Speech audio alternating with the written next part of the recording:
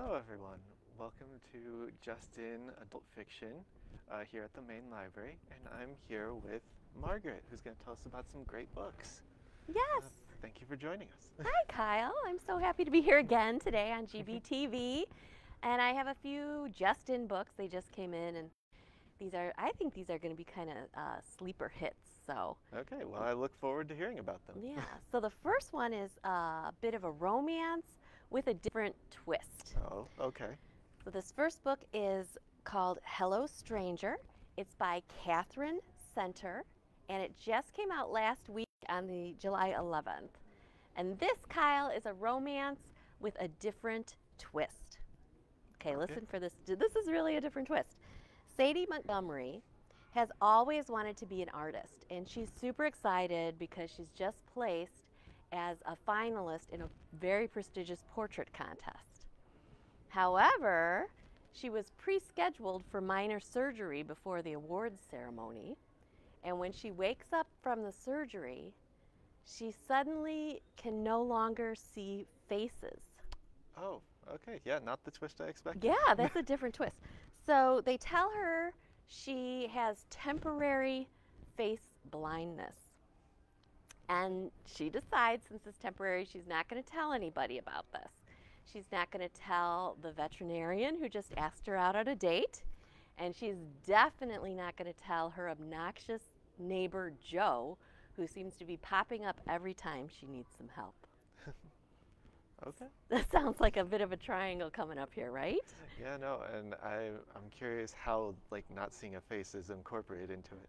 Into this, especially for a portrait artist. Mm-hmm. Uh, but yeah, I think this is like a read alike for Emily Henry. If so, if you're waiting for the newest Emily Henry book, this might be a good choice for people. It's it's really a, you know, a different twist on a romance if that's what you're looking Yeah, for. not one I've heard before, so it's definitely worth checking out. Yeah. All right, so what else you got for us today? Uh, so the next is a change. The next is a historical fiction book. It's called The Air Raid Book Club. It's by Annie Lyons, and this also came out last week. It's set in 1938 London, and Gertie Bingham is deciding if she should retire and close up her popular bookshop and move to the sea with her dog Hemingway.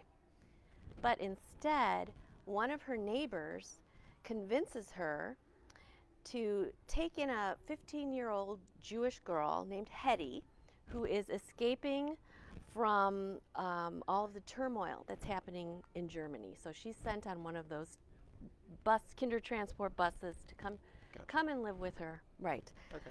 Um, and then when the blitz begins and the bombs start flying overhead, Gertie and Hetty decide to start the Air Raid Book Club to help their neighbors keep their minds off what's going on. It's really a heartwarming story, and it shows us the power that books really have to not only transport us, but also bring us together. Yeah, and that's definitely like a nice message to hear. Yeah. I'm always a big fan of like nice like historical fictions. Like if it's just the right amount of based in real history, I think it's really cool. What also, Kyle, it reminded me, you know, not only how books can bring us together, but with the current exhibit we have here, the Violins of Hope, it also, you know, it reminded me how music can bring us together. And I think we have new violins coming in today, don't we, for our exhibit? we just received some new violins, uh, so we're going to be updating the exhibit shortly. And you'll definitely want to come see that and learn about all these other violins that are coming in. And these were violins from before World War II, during World War II. Mhm. They all have different stories that I think are really moving, and, and I Mhm. think that's what's so powerful to see in that exhibit. So I hope people can make it. Oh yeah, definitely. see the new ones. If they've already made it, come back and see the new violins and learn their new stories. And if you haven't made it, it's really worthwhile coming in on the second floor at the main library to see these. yeah, violins. It definitely is. All right, so what is our last book? So the last book I chose is called Block Party by Jamie Day, and this just came out on July 18th.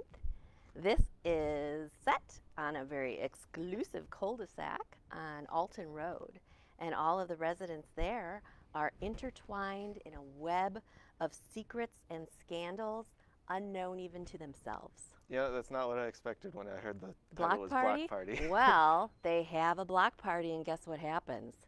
There's a murder at the block party.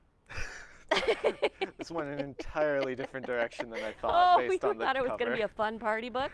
Well, it's a thriller. It's a roller coaster of a thriller.